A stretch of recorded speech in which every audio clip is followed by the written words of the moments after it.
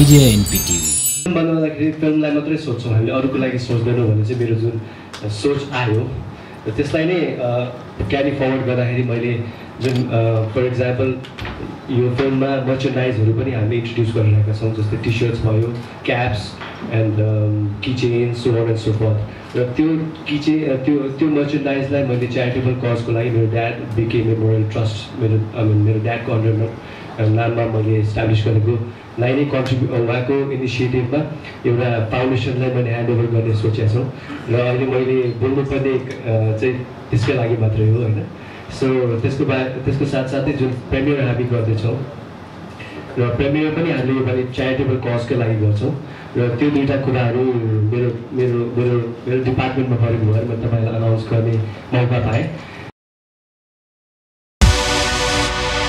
Media MPT. Get ready for a lot of fun and excitement.